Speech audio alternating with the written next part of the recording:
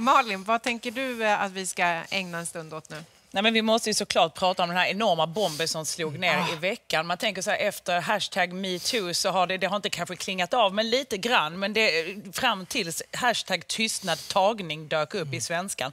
456 skådespelare, kvinnliga skådespelare i Sverige, ta in den siffran lite, det är otroligt många, har gått ihop då och eh, skrivit under på vidriga övergrepp de har utsatts för under sin eh, i sin yrkesroll av andra manliga skådespelare, producenter, regissörer och så vidare. Och det, är liksom, det var häpnande läsning. Jag var tvungen att ta pauser emellanåt för att det var så vidriga vittnesmål. Och eh, sen har detta ju tagit fart. Marie Göransson var i Malou här i veckan och pratade lite om det. Vi kan lyssna på hur det lät. Jag var rädd för män. Och jag har inte blivit slagen som barn och jag har inte haft någon farlig pappa på det sättet eller morfar och min man har aldrig slagit mig. Men jag är rädd för männen ändå därför att de har sån makt. Och de har haft makt över mig och alla mina medsystrar. Och jag vill inte att de ska ha det längre.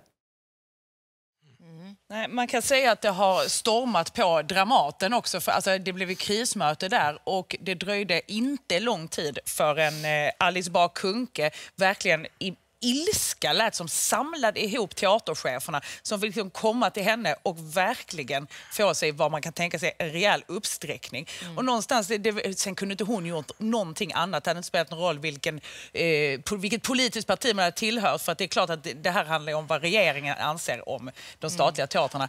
Men eh, jag tyckte det var lite härligt att hon gick in som rektor på något sätt i det här. För det har jag, jag har saknat någon lite sån här uppläxningsmänniska i metoo-rörelsen. Den finns, här är någon som bara, nu räcker det! Och det tyckte jag var väldigt Det ska härligt. bli oerhört spännande att se också vad som händer med de här statligt finansierade eh, Ja, scenerna. Jag bara som- påminner ja, om detta, exakt. att det är alltså vi som betalar för dessa scener. Det ska bli oerhört spännande att se hur utvecklingen ser ut efter den här fantastiska uppslutningen av kvinnor under hashtaggen tystnadtagning, som man ju backar upp till 100 Ja, procent. sannerligen. för om man tittar på mediebranschen som har varit under lupp eh, hittills så kan man ju se att eh, en del eh, mediehus har ju valt att inte vidta några åtgärder utan man låter det liksom flyta ut lite grann. Men som det inte pratar alla, just nu så är det men alltså, en del. så sägs det att det är väldigt många män, för folk vet ju vem de här är, även Mm. om de inte har namngetts.